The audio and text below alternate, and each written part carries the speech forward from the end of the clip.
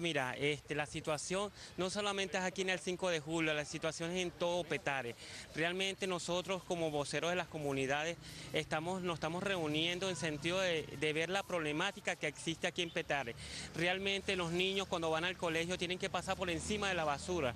Realmente consideramos que tenemos que declarar el municipio Sucre en emergencia. Yo hago un llamado al presidente Nicolás Maduro a que realmente nos ayude porque realmente la situación de la basura aquí es para declarar el municipio en emergencia, ya que tenemos un alcalde realmente que no hace absolutamente, pero es nada.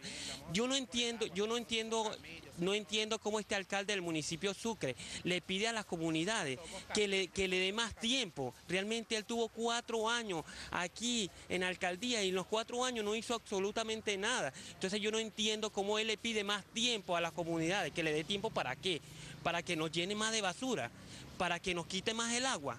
Realmente yo le digo y le pido al presidente Nicolás Maduro que nos ayude aquí en el municipio de Sucre. La emergencia es para ayer, presidente. Realmente estamos en suma emergencia aquí con la basura y el problema de agua es grave. Ustedes como